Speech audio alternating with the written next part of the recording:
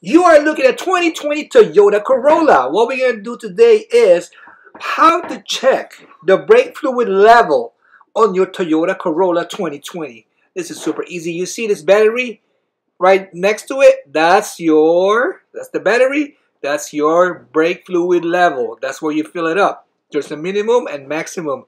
Right now, it's in between, so we're good to go. You know, maybe we can fill it up a little bit. All right, there's a cap on top of that. Unscrew that, just fill them up.